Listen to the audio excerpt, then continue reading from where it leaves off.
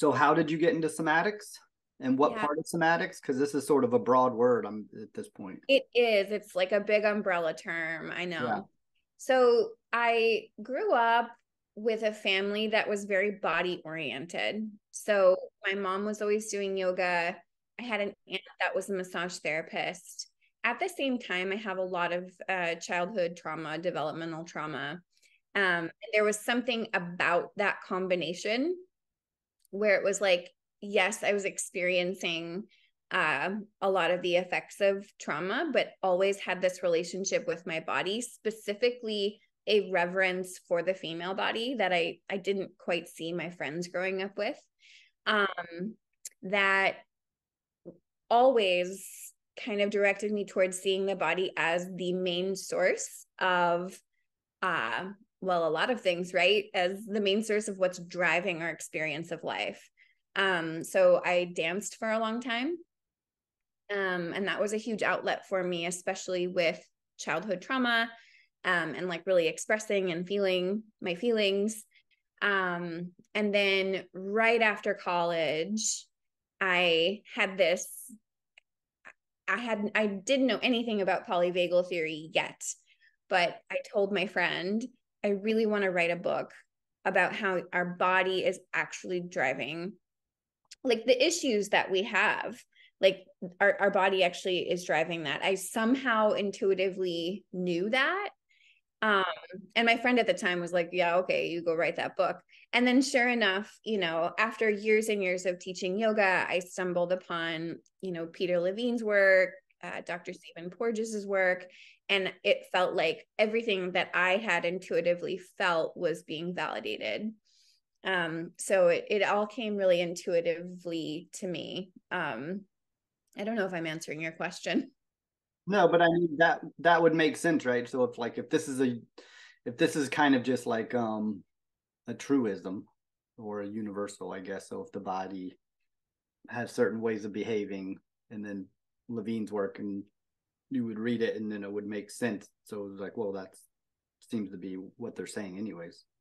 yeah exactly it just it felt like um my instincts were you know being reflected back via more science a more scientific lens right Mhm. and that's kind of happening a lot with i'm sure you see it with your work in martial arts and um tibetan buddhism you said Mhm. it's like a lot of a lot of people are are finally taking seriously what indigenous people or um you know like some of the ancient healing modalities already knew. Mhm. um which is fine but it's also like yeah well we already knew this right? Yeah, like we don't necessarily need science to justify. yeah right. We can kind of be in the experience of it There's still this sense of disembodiment. So Right. it's like they're just throwing facts at us and there's still this idea of there's a there's a mechanistic view. So even when we talk about the nervous system, it's just like, well, it's a system in the body. There's still this disembodied knowledge that's not there. Like how do Exactly. we use it? It's like I can tell you what it does on paper, but can we do anything with it? exactly like you can understand every little detail about the nervous system but still not be in your body at all. Um, and it's really trendy. It's like a very popular topic right now to, to like know about somatics and preach about it. And Is it? the irony it is. It's oh, like it's kind of a hot topic like and which is great. I think we culturally really need this at least in my bubble of the world it is. Um but you see it all the time like people want to become somatic coaches now and that's beautiful but a lot of people i think are you know memorizing information versus actually being in the experience of it and i think that's really where the education happens is right in the embodied awareness of of what somatics is all about and at the same time i have a lot of clients who because of trauma don't feel safe in the experience without understanding it first you know what i mean my last guest on my show, on my last published episode, um, Elizabeth Hasu. She's um had a qigong Chinese medicine background, but she's also an anthropologist. And there's this word that she was using in her paper that I'd never heard before. It's called enskillment. Hmm.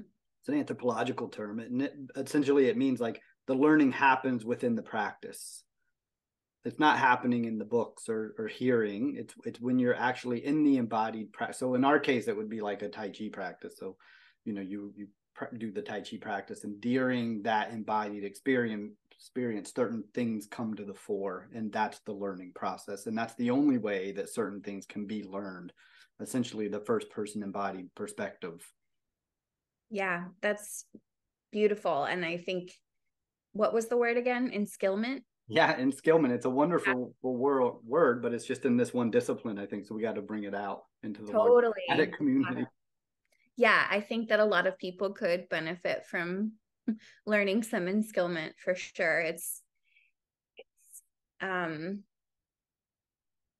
it's hard to take the hypervigilance behind trauma and try to invite people into going slower and being in their body. So like the information overload I think oftentimes is like matching the imprint of trauma which is like it's hypervigilance. It's i need i need it all right now and i need to know it all right now versus let's go slow and actually feel.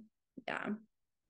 Yeah and there's a that's interesting. So okay so let's let's deconstruct for a minute or unpack this a little bit. So when we say being in the body mm-hmm. what do we mean or what do you mean by that?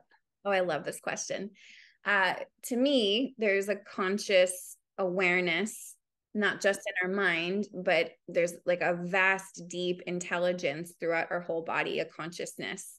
Um, so one simple example for people who are listening is like just move move your hand a little bit like wiggle your fingers around for a little bit and you can really move them however you want you can maybe squeeze your hand a little bit and then release a few times and then pause and notice what you feel in your hand, perhaps versus the other hand. So I feel more blood flow, there's more tingles, more sensation in my hand versus the other hand after moving. And to me, this is just a small example of what it means to be in your body, right? um because that is a term that gets thrown on, around a lot i think and it's like what do you mean? I'm in my i am in my body like i walk around every day but but it's the felt sense experience as eugene gendlin says of ourselves in our in our body. Yeah. Yeah felt sense that's that's good yeah mm-hmm. we have to give people a, a foothold. So if somebody's disembodied like i like what you say it's like there's no really you can't be disembodied you're in the body. So when we say this we have to be more clear what we're talking about. So the felt experience i like that. Um, and some of my guests on well from personal teachers but then also some of my guests from uh, with in the chinese arts. That sensation feeling that being able to just feel in the body um, that is what they mean when they talk chi like that's all it really is. It's just like feeling the sensation in the body. See, we immediately go to well, it's blood flow, it's this, it's that, and the other, and that's beginning the disembodied process again because we start to cognize the experience. But staying within that felt sensation of the body and then being able to work with it. Yeah. Like, um, are you familiar with Feldenkrais? Do you do Feldenkrais at all? I haven't. No. So this he was so good at this. Like getting people on their back and starting to move them around to feel that felt sensation. He was really good with that, but then um, I feel like the Western somatic practitioners, a kind of door opened into that, and then that was kind of it. Other than just keep paying attention to it, there wasn't a lot to do with it. yeah, yeah, I agree, and I think that you know when i'm working with my clients oftentimes they they want to have a rational explanation for why they're feeling a sensation they're feeling. So there's this like you know sense of oh that's more blood flow and that's not necessarily wrong right? Like it's still it's it's still them getting into their body but what we're trying to really develop an awareness of is the more spontaneous visceral sensations versus like oh when i move my my body, then I feel more. Like movement is essential to somatics for sure, right? But what happens when you actually connect with an emotion inside and you experience that compassion or that sadness or that, you know, grief in your body? Where do you feel that? And that that tends to be, I think, when I'm with my clients i can tell there's there's really a deepening of their their embodiment when they can feel those more spontaneous sensations versus like oh when i'm stretch i feel this or that. Um yeah yeah. Yeah well when there's a certain amount of movement like you're saying stretching or something like there's a bit of adrenaline most likely present. Or when you're just sitting and being quiet you're more open to more of the rainbow of emotions i guess the more Uh, but then what do you do with them once they come? So like if somebody's ex- having the emotion, so they're doing the somatic experiencing and they're having a positive or a negative emotion. What's the what do we do from there? What's the instruction? Yeah, yeah. So I it, it really depends, right? Um, on someone's capacity to be with a felt sense. So for some people, they might bump into a limit for how long they can be with that chi or that emotional charge in their body. So, as a somatic practitioner, I've developed a really keen sense for knowing, okay, this right now is okay for this person. And I might even check in with them too, but I'm reading body language, facial expressions, tone of voice for signs of, okay, being with this activation is actually okay for them. And there's some there's some peaks to it and then there's some dips. And it's not just charge charge charge like going up up up up up. There's actually some rhythm to it. Um and you know a lot of us have to work towards having this capacity it's not something that we were raised with our parents didn't at least my parents and people i know weren't asked where do you feel that emotion in your body like this is fairly new right so we might need to develop some somatic skills that increase that capacity to be with the charge. And you know, these days there's it's a lot there's a lot of like feel your feelings, feel it to heal it. And that's all great, right? But if we don't actually know how to feel, which happens through the body, it it might feel confusing. We might just sort of rely on our thoughts and go, "Oh, I'm feeling my feeling because I'm thinking and talking it out." And that's not necessarily true. Oftentimes it means you're just avoiding the feeling. That's right. Yeah, I agree. So yeah, that's so that's the first step, like learning when you're embodied and when you're disembodied. Strong emotion comes and you disembody to explain it. Um, so let's say, so how would you teach? So um, if there is a strong emotion, or as you say, there's a that charges up, or the the rhythms gets moving, so you're embodied, you're experiencing the emotion, it's it's charged what do you do with it? Yeah. So, one of the foundational parts of feeling safe with charge and activation is learning how to feel okay first, right? We have to, for a lot of people, orient to little bits of a felt sense that feels pleasant before we can go, now I can be with the charge. And so, there's, you know, sometimes uh, a preparatory period of like let's actually just notice what it's like to feel a positive sensation for a while and then start to move towards the charge while kind of pendulating or swinging back to that felt sense of of what feels I don't I hesitate to use the word good because I think there's no good or bad really but like what feels good for you, the warmth in your heart, the grounding in your pelvic bowl. And then that really is what gives you more, it's what shows your body that you are safe. If we just go into the activation without that, we are more likely to perpetuate cycles of, of stress and trauma versus if the body knows it's safe because you have that felt sense experience of what is pleasant, then we can move into the activation without it overwhelming us. So, like, we can say all the affirmations and all of the I'm safe, I'm calm, whatever you're using. But if the body doesn't know that, through a felt sense of of what feels pleasant what feels pleasurable you're you're it's going to make it really hard to feel the activation without getting overwhelmed. So the the charge is positive and negative or is it it seems like you're mostly discussing it as a negative thing like a strong negative um, i think it's both and it's different for everyone and i think that it's really easy to label activation as negative when actually our body needs activation. We need to have the upregulation of like when we you know practice martial arts like you've got to be able to upregulate and activate and mobilize.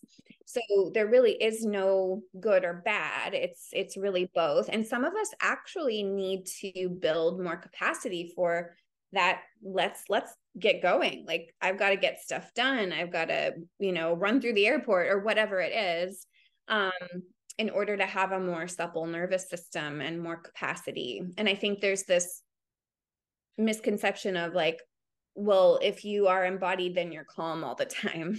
Yeah yeah yeah yeah. That's just not that's that's not what we want. We no. want to we want to be able to respond to life. So that's the goal then to be able to be embodied and be fluid in our expression um, being able to deal with these rhythms and charges? Is it yeah. Is it still on the passive side or do we do something active with it? Like is something being so i know there's a time when we're going to learn to be embodied and we're there's a listening phase. We're paying attention and we're listening. Am i safe? This is familiar. This is a new thing and we're learning all this. But is there a time when we now take it into the activation side like to consciously do, drive it in a particular direction? Yeah. So a lot of my work with women and you know this happens for men too or people who are in male bodies too but we have because of cultural conditioning we have a tendency to freeze and fawn or go into immobilization and people pleasing versus like i need to set a boundary i need to like you said, kind of activate more, take up space, feel that sense of agency and self actualization. And that's what embodiment gives us. And before we have that embodied experience of what it's like to take up space and to set a boundary or take action, our body can become kind of defended against that process, causing us to feel small and feel like we have to constantly have a smile on our face and make others happy in order for us to be okay. So a lot of my work with with people is actually going into the body and befriending some of the impulses that come with a healthy fight response or um, what Peter Levine calls healthy aggression. And we have a lot of, I think, cultural stigma around aggression. It's like, I'm not supposed to be aggressive, aggressive. Like I meditate, I'm peaceful. But the more we we let the healthy aggression or healthy anger stay in without feeling it, the more we repress that, the more it actually comes out in weird ways towards ourselves or towards other people. Well, yeah, that's what I would think. It's like because of uh emotions coming and you repress, then you're just self exploding. You're just totally. beating yourself up. Mm-hmm. So in the somatic world that I'm part of, mm-hmm. I always sort of break it into two camps. There's like the listening side. I would put Feldenkrais in that, and um, even uh, Hanna sort of. Do you know Thomas Hanna's work? I've heard of it, but I'm not. I've never done it. You know, we have this word somatic, mm-hmm. and there's an S on it called somatics and that was his thomas was the one who coined that term in the eight and the idea was that it means like the body experience from within so like there's a consciousness inside the body mm-hmm. essentially. So he was really the one who created the field of somatics. He started somatic journal with tom uh, tom um sorry don hanlon johnson out of california. I don't know if you know him, yeah. Cis and yeah yeah he was on the show. But anyways tom died but i did his program. But anyways there's a sense of like his teacher was Moshe Feldenkrais, but then there's a there's so there's a sense of learning to be embodied and learning to listen. But then you have things like Alexander technique and Tom's technique, which is now we once we listen and we're in the body, now we can direct the body from the felt experience. right? So we can begin to move somatically. So meaning not driving our body through conscious thoughts, but through sensation. This is very much the Chinese arts like Tai Chi and Qigong, right? Because a lot of our athletes move dis- from a disembodied state. Yeah. yeah. Right. So we have to, there's a process to do it. If we just try to move quickly and lift a lot of weight and move, you know, play athletics, it's like you tend to become disembodied right away. Yeah. But the Chinese arts really developed the system of like, you know, when you move slow, you begin to develop that capacity. So I don't know, is there something like this in what you do? Like is oh, what yeah. I mean, I've, I've taught yoga for uh 15 years now and I know that it can be used in a way where embodiment really isn't happening. Right.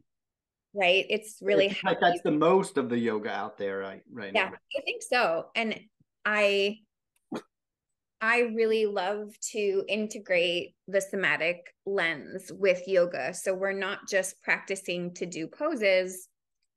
We are, yeah, consciously following our body sensations and tracking them and noticing, pausing to notice like what happens in this pose. Not just to feel sensations, but also let's explore different channels of perception. So, you know, with with what you're feeling inside, are there any images or emotions or impulses? And so, yeah, I I very much um am a movement based practitioner. There's a lot of SEPs specifically who are doing somatics in a chair. And this, again, isn't wrong for a lot of clients. That's going to be the safest way to enter into their body. So we can meet them where they're at. But if we want to, you know, really facilitate a deeper embodied experience, movement, in my opinion, is absolutely essential. Like emotion, emotions want to move. They're, you know, I'm, I don't know who came up with this, but I use it all the time. So if you know, let me know. But emotions stand for energy in motion. E and then the motion, right? And energy in motion because they are meant to drive us towards movements and impulses that our animal body, I mean, we are animals, right? Want to express but we tend to process from this very top down sedentary uh, way that can really create more stagnant energy in the body um, and a lot of confusion as to why we don't feel better. So you know there's a lot of like a lot of affirmations and a lot of mindset work and these are all beautiful but they only take us so far. Yeah. Yeah yeah this idea of the uh, somatics as movement to integrate into i think is so important because we become so sedentary. Mm-hmm. and a lot of people who are sedentary then you tell ask them to sit in meditation you're asking them to become more sedentary. It's like yeah. I think sometimes we forget where these practices evolved culturally and historically. Yes. you know, a lot of these people you know china tibet india like this was an agriculture society they weren't sitting around at desks or into you know so sitting to meditate was a break in the day of their activities where they weren't even necessarily teaching exercise because their whole day was physical labor mm-hmm. yeah and in a lot of those cultures there's people living well past 100 right because movement is is so integrated into their life even in their elderly years mm-hmm. um, and a lot of my work centers around the pelvic bowl. Mm-hmm. And sitting is one of, I mean, that colonial invention, right, of the chair has really mm-hmm. wreaked havoc on on our body, but specifically um, our pelvic bowl because we're meant to be squatting more. And when people are out in the fields squatting down, right, mm-hmm. there's there's a lot of health and vitality that comes from that that act of like squatting down and getting back up, right? Um yeah. Yeah so interestingly china also had chairs. I don't know if they invented them or not but uh you know they don't have that they still didn't have this problem. They still had these other practices where it didn't become a whole sedentary lifestyle. So because the ground was cold like in india you can sit and meditate in the heat. But in china and northern like tibet and stuff you don't want to be sitting on the ground meditating. You have to get some get up off the ground because it's so so cold. Yeah. So we can still have chairs, uh, but we have to figure out how to not become slaves to these things. So yeah, yeah, you know you know something about the pelvis, and so this is very interesting too because obviously in well I don't know if you know obviously actually, but from from Tai Chi, Qigong, tai, martial art background, like the the pelvis is a big deal. Like it's like the Dantian. Yes. Yeah, and Tom Tom Hanna called it our somatic center. So there's a mm-hmm. lot going on here, but still this is not an addressed topic nearly enough. No, and I really appreciate you bringing it up because I find when I do these interviews and even in my education, there was a lot of the, the white puritanical aversion to the pelvis is it runs so deep. It's very like that is a dirty, shameful place. And we're just going to bypass it. And there's a lot of heart centric focus in somatics. And that's beautiful. And there's that ventral branch of the vagus nerve that runs through it. And it's part of our pro social nervous system. But if we aren't grounded in our pelvic bowls, like you brought up the Dantian, there is a lot of missed opportunity for full integration of our whole self because the pelvis is such a central uh, nexus point in the body. It really holds so much fascia that is richly and densely packed with nerves. And nerves compose our nervous system. So yeah it's for women our pelvis is our center of gravity. So you know what you said did you say tom Hanna said it was our somatic center yeah yeah he talked a lot about the somatic center and he has mm-hmm. drawings and stuff around this type part of the body yeah yeah that's i love that um and i i think that we we carry a lot in our pelvic bowl so i understand that it can be a provocative place to orient to and be in and that's even more of a reason i think to really center it in mm. our healing journey more you know and that's crazy too because I, th- I feel like even in the west though it's like any like a power lifter sprinter uh, wrestler, like they spend a lot of time cultivating this part of the body because it's so important in athletics. So I, I I understand the disconnect among the population, but actually we don't even need to look abroad. Any serious athlete recognizes the importance of this part of the body. It's your center of mass. Yeah. High jumping, anything is like it's critical. But I like what you were saying about the. Could you talk a little bit more about the fascia in the in the pelvic bowl? Yeah. So we have fascia or connective tissue all over our body. It covers everything muscles, tissues, viscera. And the pelvic bowl holds five layers of this fascia. So, more than anywhere else in the body, it's really richly and profusely filled with with fascia. And fascia is what sheathes our nerves. So it coats our nerves. It's this living system and it very much impacts our nervous system.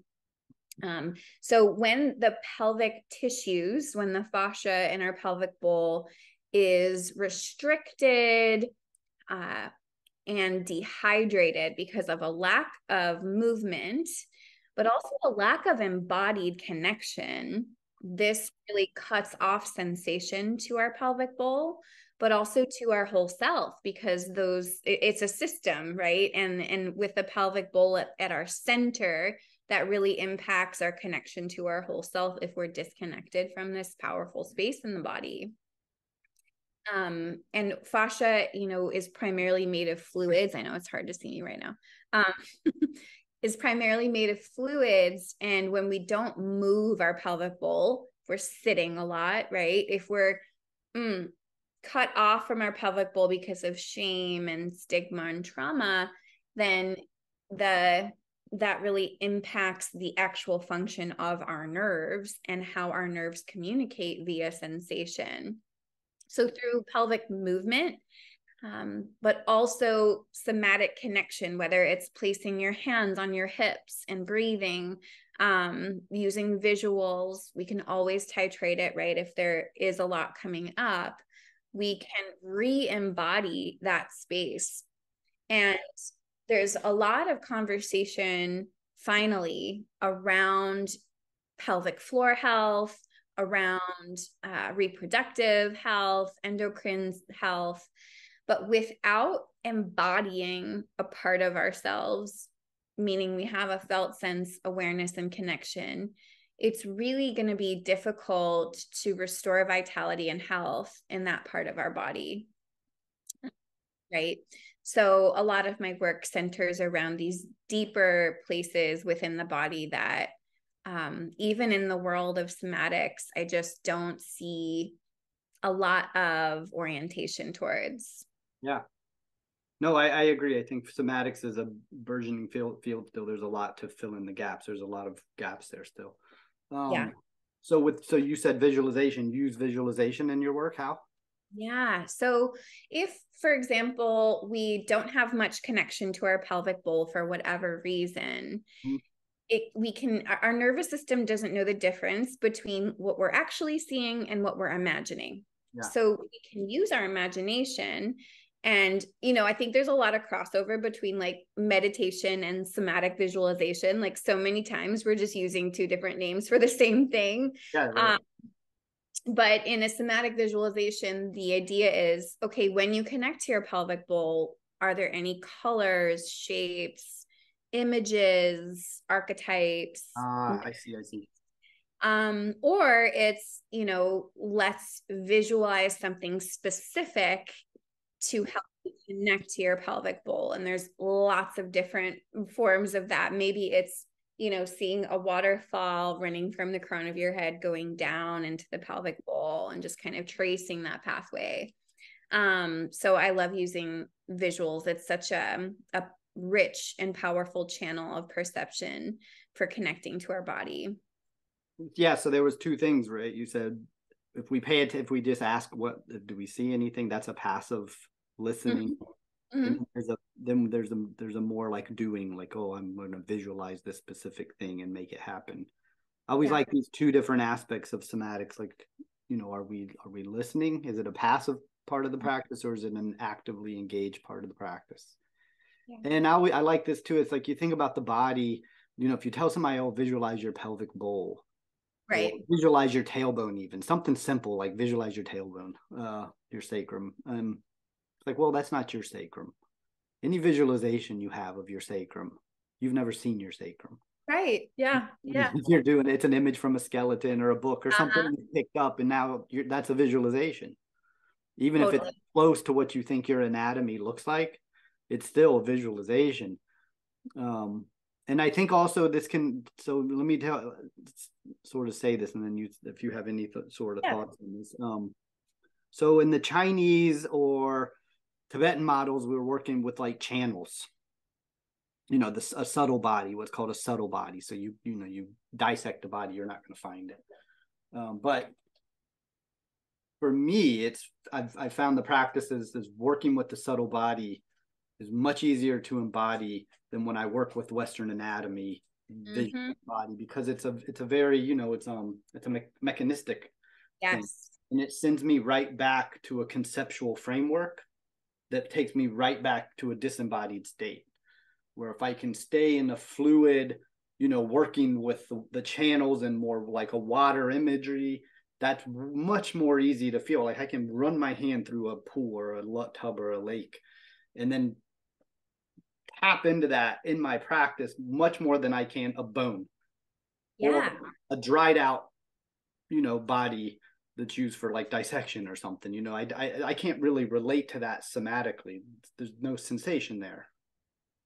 I agree. Yeah i think it also really pushes this idea of isolating certain body parts when there perhaps is pain or dysfunction. It's like let's just target that right where the pain is. That's right versus like let's look at the whole system. So i have people i've worked with who've had back pain for years jaw pain for years. And we work actually with the pelvic bowl. That really is such a source of and this is backed by research but like such a source in the body of a lot of the pain or discomfort even in our shoulders right um, so I think that you're right. I think it's what you said about it being mechanistic and also this Western uh, cultural framework of let's go into the body and just look at what's going wrong and try to just fix that versus let's look at the whole system the whole person as a person uh, instead of just like chasing symptoms well i mean that makes so much sense on so many levels like uh so for one like if you have something wrong in the shoulder but it's really coming from the pelvis i mean that makes sense. It's like if your orientation isn't right in gravity then you're mm-hmm. going to have to adopt a compensatory pattern to stay upright up top somewhere. It's like this is it's even from a mechanistic model this is makes sense. But but then two what i like about the fascia and the nervous system is, yeah. really are moving from a direct uh, space of mechanistic to you know more water full bodied connection you know it's not really material it's viscous it's kind of material but then it's you know when you like again if you do a dissection it's not really there any longer because it's water it loses its shape but it's like in the living body this is what constitutes movement mm-hmm. Mm-hmm. yeah and connecting with our fluid nature is something we're not really encouraged to do right, right. it's everything's very linear. It's very you know go go forward. There's no ebb and flow. There's no rhythm. And rhythm is in my opinion and not just my opinion lots of other people like this right. idea of pendulation is so crucial to our psycho-emotional mental and physical health yeah um, so looking at cycles within the body and how everything really functions within that cycle is massive. Yeah. No, no, I love what you say. And all organic material, like we're in the autumn right now. It's like there's a whole cycle, there's a rhythm to mm-hmm. life. Uh, breaking everything down mechanistically and just look, you know, taking a car, car apart, there's no real rhythm when it's just laying there. But it's like life has rhythm. So it's yeah. a common sense thing. Do you see this changing? Or do you think we're the old model was so in so stuck we're not ever going to go forward because it seems like there's there's movement forward here i think so you know and i'm you know in my little my little bubble where i teach this so i see it in my clients and i see it in my students um so i think we're on our way and it's it might take time but there is finally some orientation to what yeah a lot of more indigenous practices um, or ancient practices have you know carried that wisdom for so long. And there's something you know i think interesting and frustrating about the fact that like now that these white intellectual men are proving that this is real now all of a sudden we're finally paying attention you know yeah yeah and you know i don't i so i'm working from the i'm working east west in a lot of my work. Like I came to somatics late. Yeah. But it's helping me explain a lot of the practices that I learned in the East from different traditions. Yeah. And you know, some people need that explanation to feel safe with it. And so it's fine. And I I teach polyvagal theory. Like I don't have anything against these more scientific based um lenses, but my work has always from a pretty young age been um the integration of science with with spirit with you know like when we talk about our spirit or our soul whatever you want to call it like i really see that as the body itself and like don't need to be separate to me like my my tissues my muscles my everything that is that is soul right um yeah yeah so i just i like the i like the somatic conversation i think that it's bringing it's I think it's a global conversation. I think it's bringing so many different views and opinions or traditions to the table, not necessarily opinions, but traditions to the table. And mm-hmm. I, I think a common language is is in happening now. I think just by conversations like this, I think things are, you know, whatever's happening in China in Tibet, I think there's obviously crossover and similarities. We're all human beings, and we're it's all working from an embodied point of view. Mm-hmm. Like, yeah, find yeah. it fascinating that I can sit down with you and be right on the same page, even though our practices are probably very different on the outside, but internally, I think they're probably much more in common than different. Oh, totally. Yeah.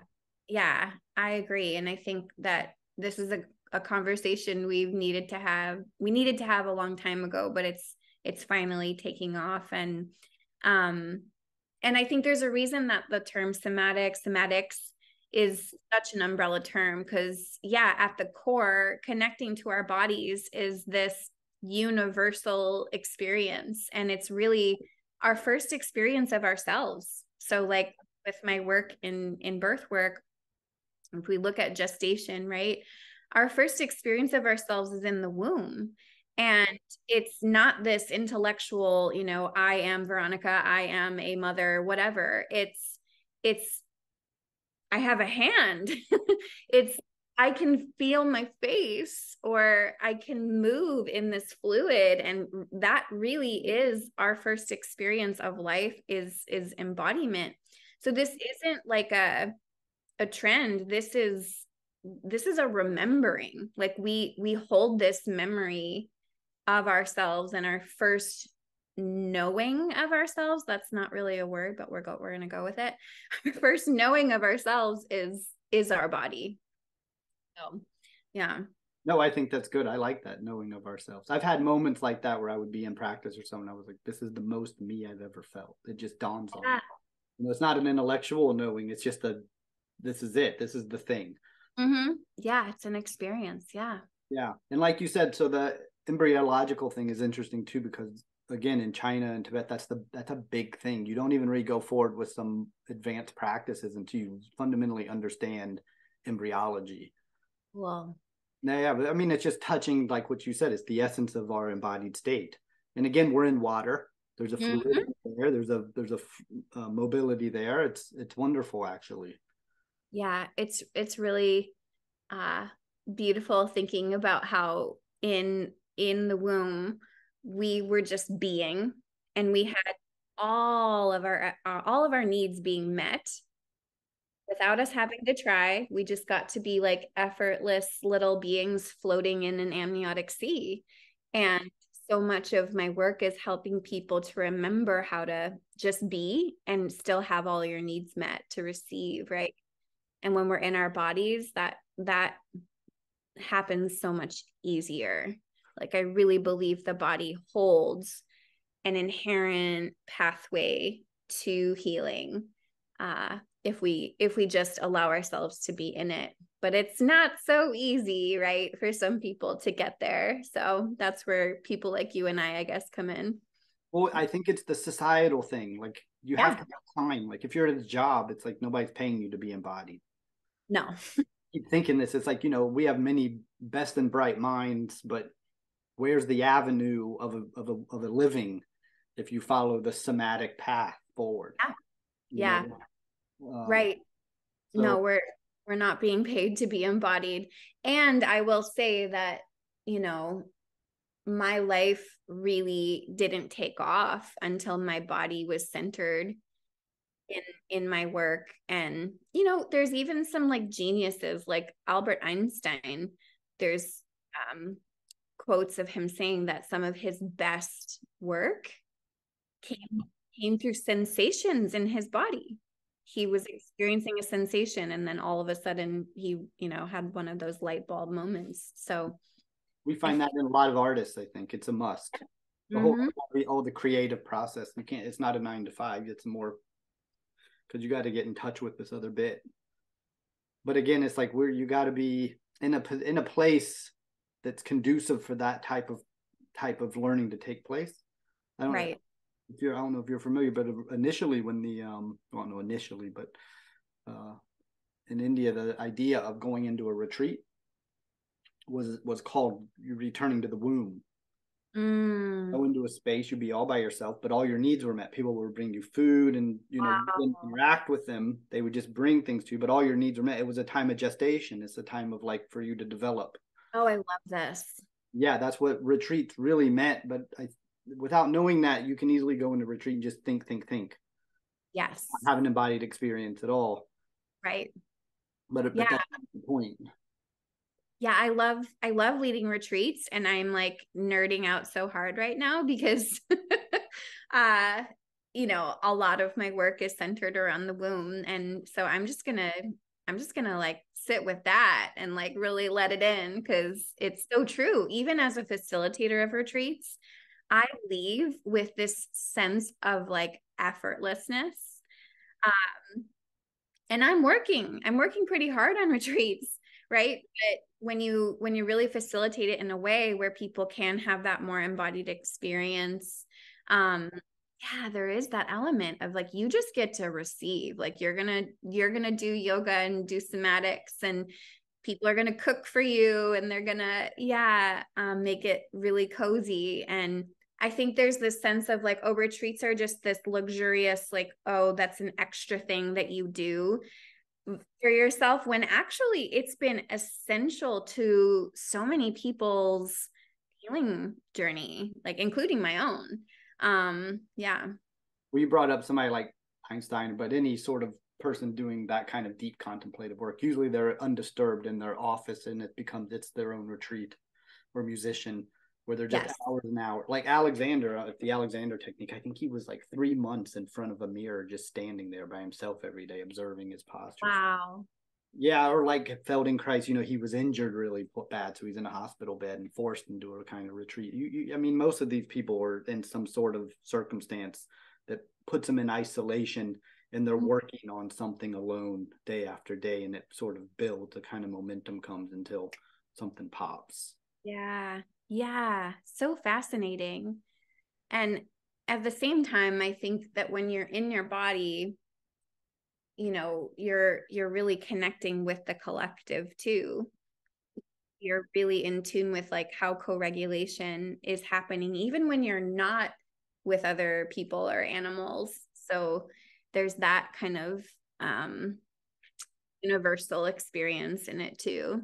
Well that and that was the thing you know a lot of tai chi masters are in the retreat most of these are done in nature. So you're mm-hmm. connecting mm-hmm. to nature. That's a massive part of the practice and then also you're not meant to stay in retreat forever. Once you attain this you come out.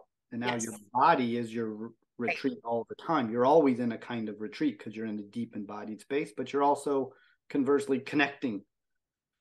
It's not an isolated thing where you just go inward and shut down. Yeah. Usually learning how to be somatically inclined and then being able to remer- re-emerge back into the world and function but maintain your embodied state. So this internal external thing is happening all the time but it's in balance now. You've understood the body mind situation. Yeah and for a long time i could go inward and it was wonderful and i loved it and it was so cozy right? But if you bring me into a room with people and bright lights i was out of my body. I just was you know and not in a bad way but just like okay well now i can't it's hard for me to feel myself. Um so I think, yeah, embodiment is this like weaving together of that mm-hmm. internal and external. So there is rhythm there. It's like when I'm with people, I am also feeling sensations and how my body is reacting. And it's so easy, I think, to project what we're holding onto inside onto the external without an awareness and then all of a sudden you're just kind of spewing stuff out that's not really coherent with what's happening right? But if i have this awareness of my inner world when mm-hmm. i orient to the external to other people to my environment i can go okay i'm having this reaction. Does it is it really coherent with what's happening or am i is my body just remembering something from a long time ago that happened and is trying to protect me from it? Yeah. Why I, I love that and i think what you're saying too is essentially you you've learned to listen. It's an art of listening. Yeah. you're listening to your body you're listening to the external situation and then they're able to adapt into the rhythm as you keep saying which i also really like this idea of rhythm. Yeah. Most people aren't listening. They're constantly. Right. Yeah there was a the story i love when the dalai lama this lady met the dalai lama and she was like i always you know, I thought he was going to have some big sort of power. She was going to mm-hmm. have a mystical experience being in the same room as him. And she came out and they somebody asked her and she was like, "You know what it was? It was that I've never been with somebody that listened to me that well. Like wow. he was completely present and I felt like the only person in the world and he was just so attunedly mm-hmm. listening to me and then you realize, yeah, we don't listen we're not paying attention. Like we wouldn't be doing what we're doing to the planet if we listened. Yeah. complete yeah. cut off from we, we're not listening to the tree just to go out and cut a tree down carelessly. It's like, well, you haven't listened. You don't realize how connected you are to that tree and how dependent upon that tree you are. You cut it down like it's a something you buy a piece of plastic you buy in a store. Mm-hmm. Yeah.